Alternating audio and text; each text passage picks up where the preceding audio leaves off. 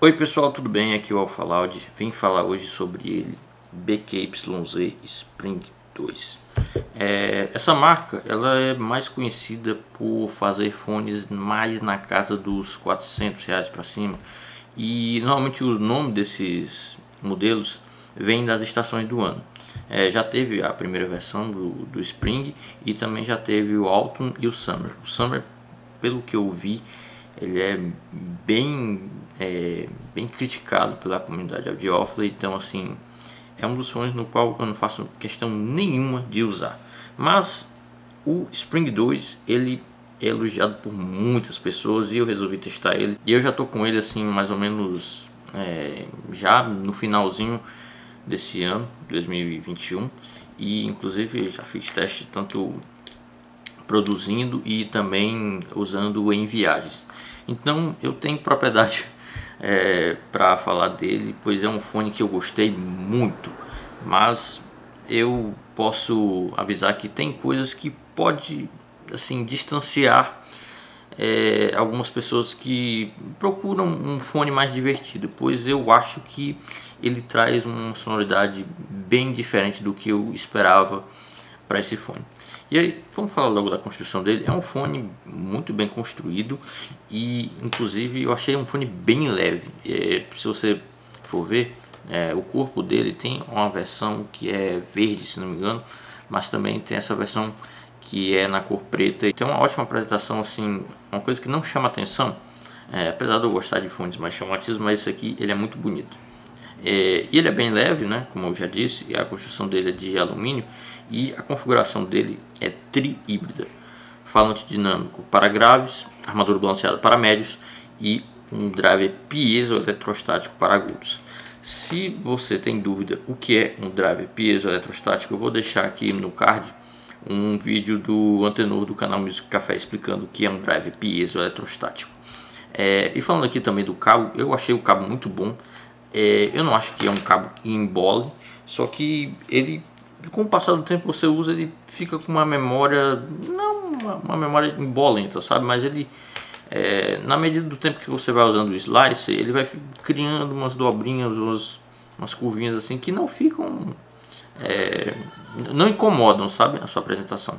Mas certamente é, é um cabo robusto, é um cabo muito bom, inclusive tem a logo da, da marca no, na construção do pino. Ele acompanha também uma case muito legal, é, que assim não é a case mais luxuosa do mundo, mas ela é bem rígida e assim vai servir assim por muito tempo e é uma case espaçosa e é uma das coisas que eu gostei bastante também.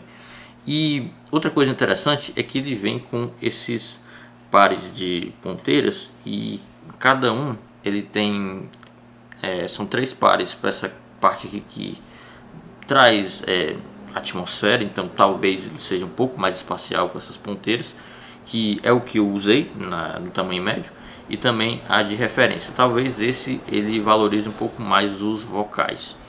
É, eu fiz esses testes e assim já falando da questão do isolamento, eu acho que o isolamento dele não é a melhor coisa do mundo, pois ele apesar de ser muito leve, a vedação dele eu achei meio fraca. Quando você coloca, você ainda escuta muito dos ruídos externos. Então assim, e sem contar a tonalidade que eu vou falar já já, então ela já contribui um pouco.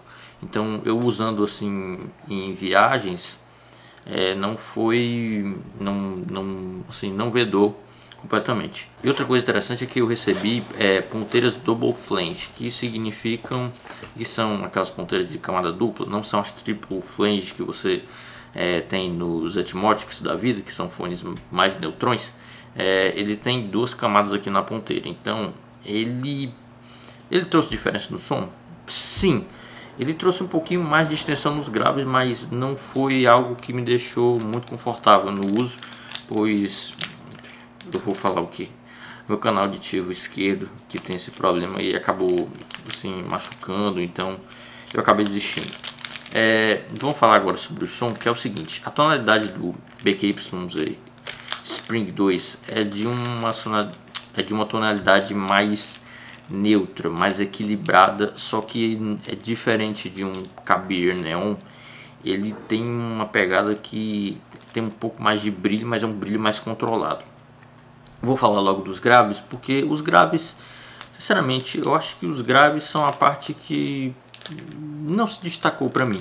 São graves comedidos, assim, eles têm um shelfzinho é, interessante, é, pode é um degrau acima do que seria o neutro, só que você tem é, um bom detalhamento, um bom impacto, ele tem uma força suficiente para um fone que é equilibrado mesmo, mas eu não achei ele assim, ele não é algo que me surpreendeu e ao mesmo tempo não é algo que me entristeceu. Poxa, que grave ruim, não. São graves bons pelo que custa. E assim, não, ele não é o ponto de destaque do fone sem dúvida nenhuma, mas não são é, assim graves de se jogar fora. São graves que tem uma velocidade boa, apesar de que você tem passagens mais complexas. Ele não não que embole, mas talvez você pedir, você talvez quisesse um pouquinho mais de velocidade nessa questão. E assim, é isso, é o que eu penso dos graves desse fone aqui. É, a coisa muda completamente quando chegamos na região dos médios. E é o seguinte, os médios desse fone são sensacionais, porque do violão mais suave, da guitarra mais distorcida, ele vai tocar muito bem, inclusive vocais masculinos e femininos vão tocar muito bem aqui, muito bem renderizados aqui. É um trabalho aqui muito bom em relação a uma armadura balanceada só. E você aí que gosta muito da KZ e defende é, 37 armaduras balanceadas em um fone de ouvido, saiba que com uma armadura balanceada só, é, o Spring 2 fez um excelente trabalho aqui nesse, nesse fone. E na parte dos médio agudos eu achei é, um, um, o pico dele é bem suave e é muito agradável. Você tem uma presença que está na medida, não vai te cansar em nada, não é ardido, é, não é sibilante nem nada do tipo. E assim, a espacialidade dele não é tão grande e, e consequentemente o palco sonoro dele ele acaba não sendo o maior de todos, ele não é nenhum drop da vida, só que ele é bem satisfatório mesmo. Ele, vez ou outra, pode pular um pouco fora da sua cabeça, mas ele traz é, muito controle. Eu, é isso que eu posso definir em relação a esse fone.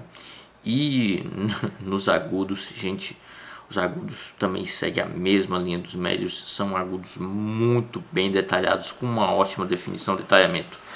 É, os pratos de bateria assim soam muito naturais, não tem nada artificial aqui.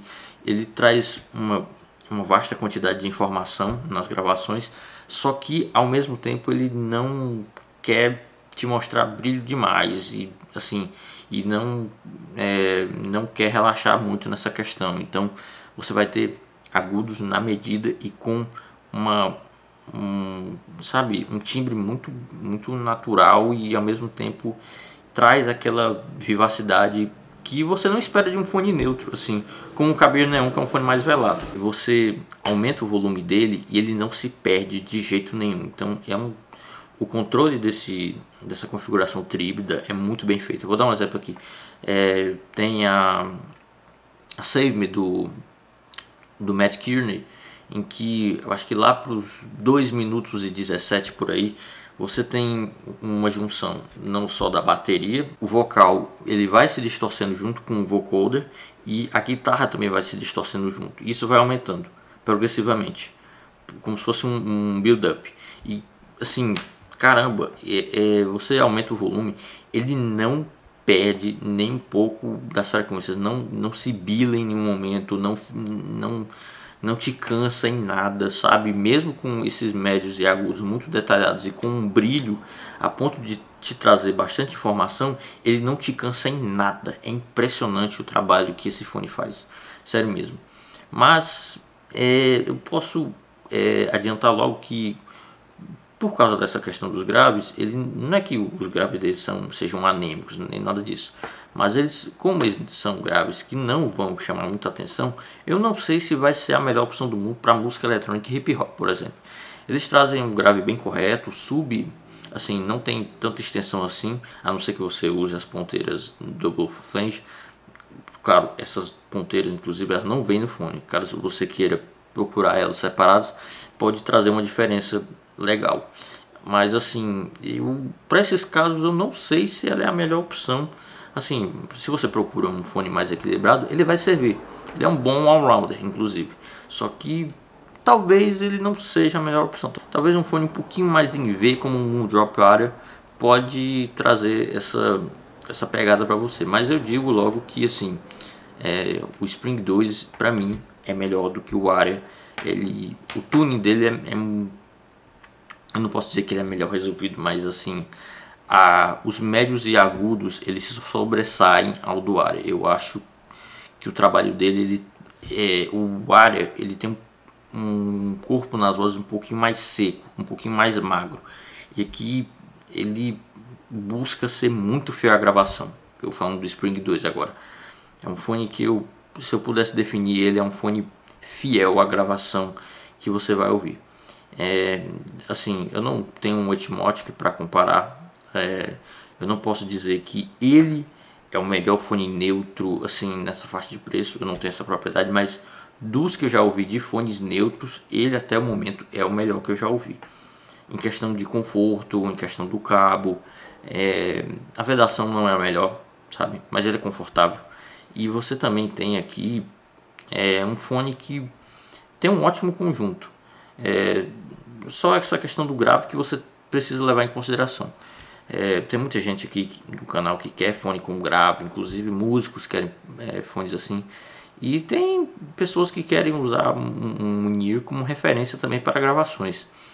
Eu acho que o Spring 2 é uma, uma ótima referência para você ouvir uma gravação no estúdio. E assim, ele para mim é um fone que vale a pena. Apesar da vedação dele não ser a melhor, assim, para uma gravação em estúdio, se você quer ouvir assim sozinho, é, no estúdio e quer dar um, um analisado nas nuances de uma música, eu acho que ele atende muito bem é, essa, essa demanda de um fone mais equilibrado. E sinceramente é um fone que eu recomendo facilmente para vocês. Um dos melhores fones que já passaram aqui no canal, sem dúvida nenhuma. E é isso, gente. Eu espero que vocês tenham gostado se inscrevam no canal, comentem, deem like. Se vocês já tiveram ou têm o Spring 2, comenta aqui embaixo o que, é que vocês acharam dele. E inclusive colaborem com o canal.